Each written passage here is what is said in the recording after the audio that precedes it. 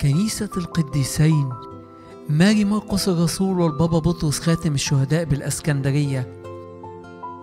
اجتماع الأسرة تحت إشراف آباء الكنيسة. يقدم سلسلة بعنوان المشاكل الزوجية. هل لها حل؟ وده معدنا مع الحلقة الثالثة وعنوانها كلنا نعلم أن النشاط المصرفي يقوم على نشاطين رئيسيين السحب والإيداع.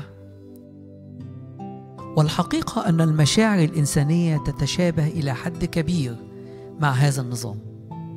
فكلا النظامين يزيدان بالإيداع ويقلان بالسحب. وقد يجد الإنسان نفسه بسبب عدم فهمه لهذا النظام مفلسا ماديا ومعنويا أيضا. وفي هذا الأمر من المفيد جدا أن تضع لنفسك كشف حساب تماما مثل ما يأتي إليك من البنك. قائمة. قائمة بما أودعت وسحبت وكذلك الرصيد الختامي. تصور معي مثلا أنك فعلت كشف حساب عن هذا الشهر أو هذه السنة من عمرك مع زوجتك. وارسم جدولا به قائمتين رئيسيتين. الأولى للإيداع والأخرى للسحب. في قائمة الإيداع سجل كل كلمة حلوة أو موقف جميل أو هدية أو رحلة ممتعة قمت بها مع زوجتك.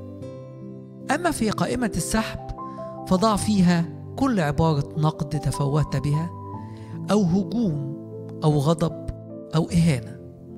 واحسب بقى يا حلو كم يبلغ رصيدك في النهاية. فإذا كان رصيدك في بنك الحب كبيرا مكنك ذلك من أن تغطي أي مسحوبات عاطفية. طارئة قد تحدث. وتذكر أن الرصيد الذي تدخره باق لك عندما تحتاجه في السنوات العجاف. فاكر حلم فرعون في سفر التكوين؟ السنابل العجاف؟ يقول الكتاب المقدس ثم هوذا سبع سنابل يابسة رقيقة ملفوحة بالريح الشرقية نابتة وراءها. تكوين 41 23 أهي المشاعر الإنسانية برضو بيجي عليها وقت أو سنين تكون عجاف لازم يكون عندك رصيد علشان تغطي منه السنين دي. فكل كلمة حلوة أو مجاملة ظريفة أو تضحية أو اعتذار أو مساعدة أو خدمة أو بذل يعيش ويدوم بل ويتكاثر بفوائد الحب والنعمة الإلهية. فإذا حدث عاصف بينك وبين شريك حياتك سوف تغطي ودائعك ومدخراتك مصروفاتك ومسحوباتك.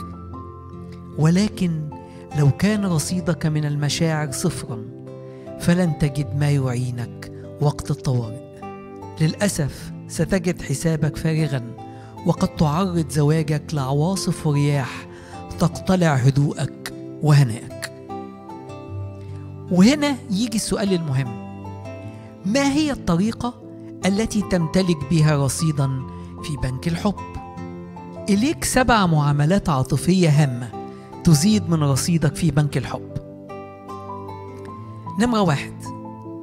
تذكر مشاعرك وقت الخطوبة. أكيد ابتسمت دلوقتي لما افتكرت أيام الخطوبة. هو ده اللي أنا قصدي عليه بالظبط هل تتذكر كيف كنت تحافظ على مشاعر حبيبتك وتحذر من أن تجرحها؟ هل تتذكر كيف كنت تحرص على مجاملاتها بكلمات رقيقة؟ كيف كنت تحافظ على احترام موعدها والظهور أمامها بأحلى صورة؟ فاكر الأيام دي؟ حاول بقى ترجع لنفس المشاعر دي تاني دي أول طريقة تزود بيها رصيدك في بنك الحب لو عايز تعرف باقي المعاملات العاطفية استنانا في الحلقة الجاية. هنتكلم عن ست معاملات عاطفية أخرى تزود بيها رصيدك في بنك الحب. عزيزي الزوج عزيزتي الزوجة رصيد بنك الحب ده زي الرصيد المشترك. يعني أنتوا الاتنين لازم تعملوا إيداع فيه علشان يكبر ويزيد. وإلى أن نلتقي سلم على الكنيسة التي في بيتك.